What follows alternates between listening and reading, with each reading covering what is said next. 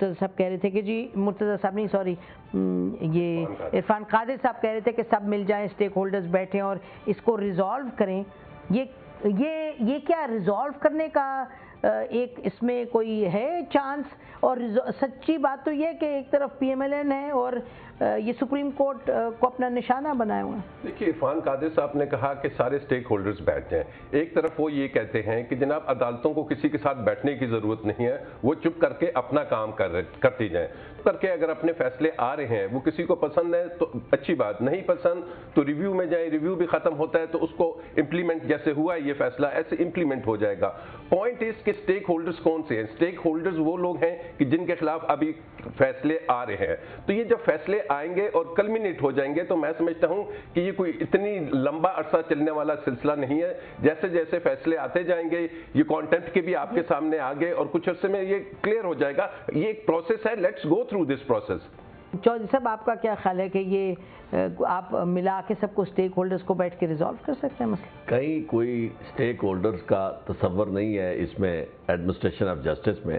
اس کی وجہ یہ ہے کہ یہاں تو لوگ ہوتے ہیں ان کے مقدمات ہوتے ہیں اور عدالت ہوتی ہے جس نے فیصلہ کرنا ہوتا ہے۔ یعنی عدالت اب جن کے بارے میں فیصلے کر رہی ہے، انہیں بلا کے پوچھے کہ اب یہ جو معاملات ہیں، ہمیں کرنے چاہیے یا نہیں کرنے چاہیے، ہر ایک کا اپنا رول ہے۔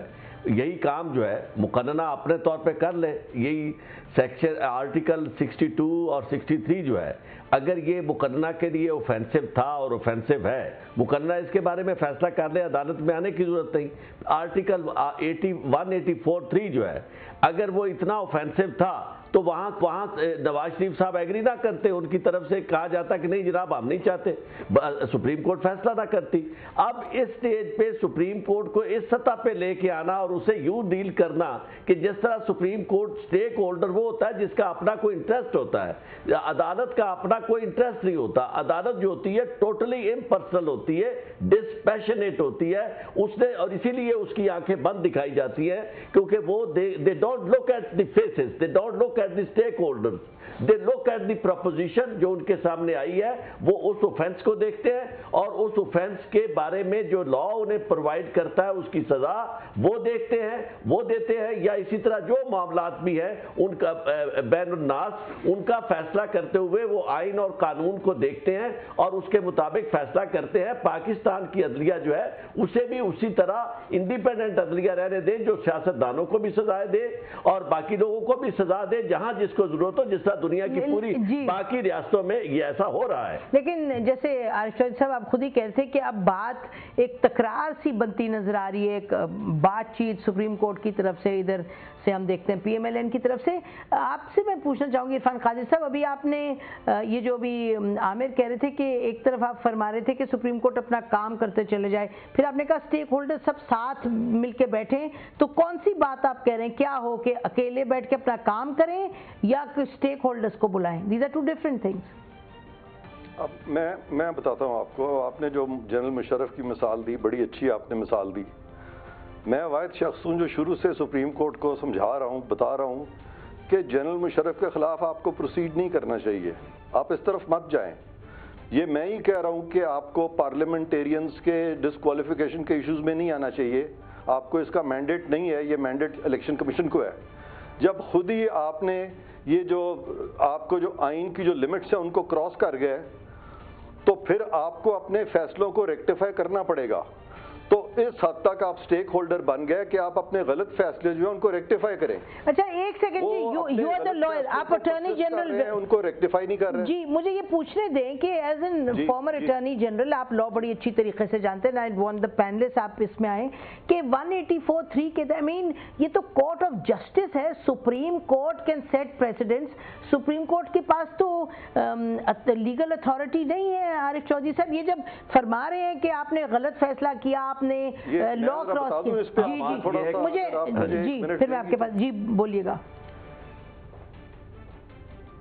جی میں یہ کہہ رہا تھا کہ یہ جو 184.3 کی جورسڈکشن ہے یہ اگر آپ دیکھیں جب یہ سب سے زیادہ پاکستان میں ایکسرسائز ہونی شروع ہوئی تھی تو ایک بھی فیصلہ ایسا نہیں آیا تھا جس میں کسی کو کسی آفس سے نکال دیا ہو یا کسی کو ڈسکوالیفائی کر دیا ہو یا اس کو کو ورنٹوں کے طور پہ استعمال کیا ہو۔ اس میں وہ تمام اس طرح کے ایولز اور وائسز ٹیک اپ کیے گئے تھے، جس سے کہ پبلک ایٹ لارج جو ہے اس کے جو بیسک رائٹس ہیں وہ انٹرفیئر کر رہے تھے لیکن وہ جو نارمل لیگل چینلز تھے ان کو بند نہیں کیا گیا تھا اور ان کو سرکمبنٹ نہیں کیا گیا تھا۔ آپ کہیں گے نیا پریسیڈنٹ ہے مختلف تھا۔ سر آپ کہیں گے نیا پریسیڈنٹ ہے؟ یہ غلط نہیں ہے۔ یہ آپ تو کہہ یو ٹیکنگ نا نا ایک سیکنڈ ایک جی، سیکنڈ جی۔ بات سنیں۔ Just one minute one minute justice Afzal Zullah جو ہیں جب انہوں نے یہ ٹیک اپ کیے تھے یہ میٹل تو میں بڑے کلوزلی ان دنوں میں وہ یہ سارے پروسیس کے ساتھ بھی ایسوسیٹڈ تھا۔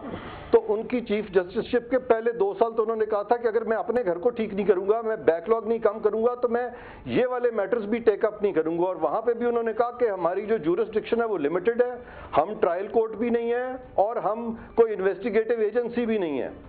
لیکن ہم اس صورت میں ڈائریکشن ضرور دیں گے تاکہ لوگوں کی فنڈامنٹل رائٹس امپیکٹ ٹھیک ہے آپ کہہ رہے ہیں ان دی کو ہم ڈیسائیڈ نہیں کریں گاٹ یور پوائنٹ جی میں ویری کوئکلی عارف چودی صاحب آن دیٹ 97 سے بھی شروع ہوا سلسلہ اور پاکستان کی جورسڈکشن میں یہاں 2014 کا کیس تھا جو 2016 میں ڈیسائیڈ ہوا اور آرٹیکل 184.3 میں کو وارنٹو جورسڈکشن استعمال کرتے ہوئے سپریم کورٹ نے ہائی کورٹ میں انلیگل اپائنٹمنٹس کو سیٹسفائڈ کر دیا۔ اور جس کے نتیجے میں ایک فارمر چیف جسٹس جو تھے انہیں جانا پڑا اور ایک فارمر، ایک موجودہ چیف جسٹس اسلام آباد ہائی کورٹ، ان کے خلاف ریفرنس پینڈنگ ہے۔ لہٰذا میں ان سے اس بات میں بالکل اختراف رکھتا ہوں کہ سپریم کورٹ جو ہے، اسے ہم یہ کہہ دیں کہ چونکہ جناب آپ نے ابھی آپ کے پینڈنگ بیک لاگ ہے، اس لیے آپ اس طرف نہ جائیں۔ جو یورسٹکشن ہے اور جس طرح کا معاملہ آیا، پاکستان کی تاریخ میں یہ سب سے بڑا معاملہ تھا۔ لیکن یہ معاملہ جب سپریم کورٹ کے پاس آیا اور دونوں فریقین نے یہ کہا کہ آپ اس معاملے میں کریں جورسٹکشن اپنی بھی استعمال کرے تو سپریم کورٹ کے پاس اس کے دونوں فریقین نے کہا اور یہ سو موٹو نہیں تھا لے کے گئے فریقین۔